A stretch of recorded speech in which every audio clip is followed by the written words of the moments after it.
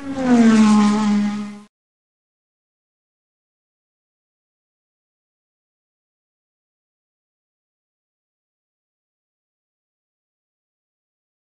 yang masyhur bahwasanya surat Al-Waqiah kalau dibaca akan menghalangi kemiskinan, maka hadis ini hadis yang mungkar. Saya bacakan hadisnya. Bahwasanya Utsman dakhala ala Ibni Mas'ud ya'uduhu fi maradhihi alladhi mata fihi. Bahwasanya Utsman bin Affan menyunguk Ibnu Mas'ud yang dalam kondisi sakit yang dia meninggal dalam sakitnya tersebut. Maka Uthman bertanya kepada Ibnu Mas'ud. Ibnu Mas'ud sahabat senior, Abu Abdurrahman Ibnu Mas'ud, Abdullah bin Mas'ud. Ma tashtaki? Apa yang kau keluhkan ya? Qala dhunubi. Kata Ibnu Mas'ud, aku mengkhawatirkan dosa-dosaku. Qala fama tashtahi? Apa yang kau inginkan? Qala rahmat rahmat rabbi. Aku menginginkan rahmat Tuhanku. Qala afala nad'u laka tabiban maukah aku panggilkan dokter untukmu? Qala at-tabibu amradani. Kata Ibnu Mas'ud, dokterlah yang buat aku sakit. Qala afala na'muru laka bi ata'ika? Maukah aku perintahkan orang untuk memberikan pemberian untuk engkau harta kepada engkau wahai Ibnu Mas'ud? Qala la hajata li fihi. Aku tidak butuh dengan harta. Habastahu anni fi hayati. Waktu aku masih hidup, belum sakit parah seperti ini, kau tidak berikan aku wahai Utsman. Wa tadfa'uhu li inda mamati. Sekarang aku mau meninggal baru kau kasih harta untukku. Qala yakunu li banatika min ba'dik. Kata Uthman harta tersebut untuk putri-putrimu setelah kau meninggal dunia.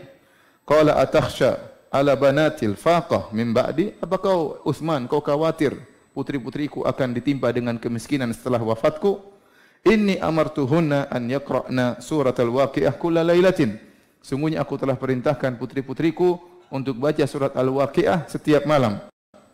Fa inni sami'tu Rasulullah alaihi wasallam sungguhnya aku mendengar Rasulullah sallallahu bersabda, "Man qara'a surat Al-Waqiah kulla lailatin lam tusibhu faqatun abadan." Barang siapa yang baca surat Al-Waqiah setiap malam, maka dia tidak akan ditimpa dengan kemiskinan selama-lamanya. Hadis ini uh, dhaif bahkan mungkar dan illah atau sebab kedhaifan hadis ini banyak kedhaifan hadis ini banyak. Di antaranya al-inqita sanatnya terputus. Di antaranya uh, perawi-perawinya dhaif dhafur ruwatihi.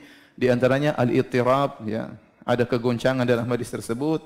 Di antaranya nakaratu matnihi matanya juga mungkar bagaimana Utsman kemudian ternyata tidak memberi pemberian kepada siapa Ibnu Mas'ud setelah mau meninggal mau dikasih ini tidak layak bagi Utsman bin Affan radhiyallahu taala anhu.